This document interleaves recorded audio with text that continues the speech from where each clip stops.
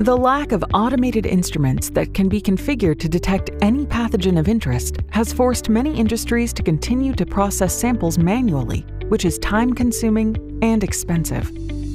Until now. Announcing Lexagene's LX6 Open Access Pathogen Detection Instrument.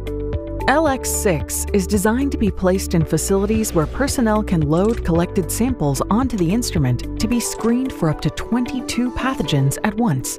Initiating sample processing takes less than one minute.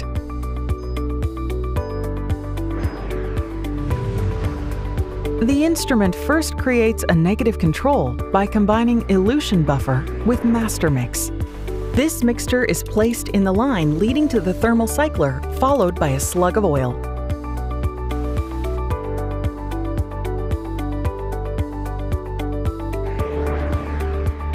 The instrument then draws the sample into a disposable cartridge where pathogens are concentrated for ultra-sensitive detection.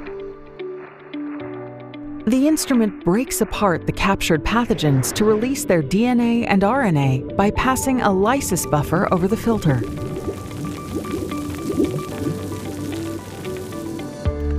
Next, the instrument adds an alcohol to the lysate and delivers the lysate alcohol mixture to a binding matrix where DNA and RNA fragments are selectively retained. The binding matrix is washed and dehydrated before an elution buffer releases the DNA and RNA from the matrix. The DNA and RNA are mixed with master mix at the valve, and then this mixture is directed to the same line containing the previously assembled negative control.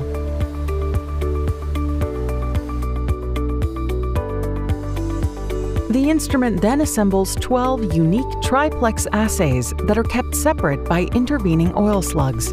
Each triplex assay contains primers and probes for a positive control and two pathogen targets.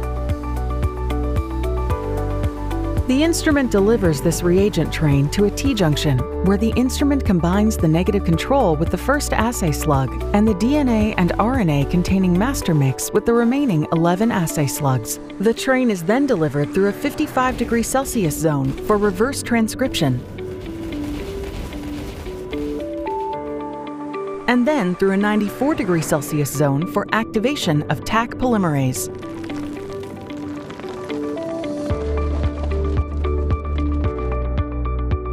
The reaction mixtures then enter a thermal cycler where the targets of interest are amplified and with every passing cycle, optically analyzed.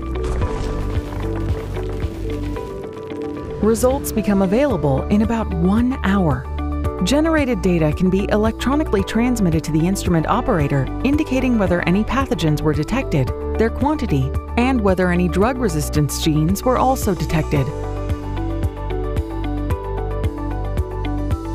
Lexagene's LX6, the industry's first open access instrument for rapid pathogen detection and characterization. Go to www.lexagene.com or call 1 800 215 1824 for more information.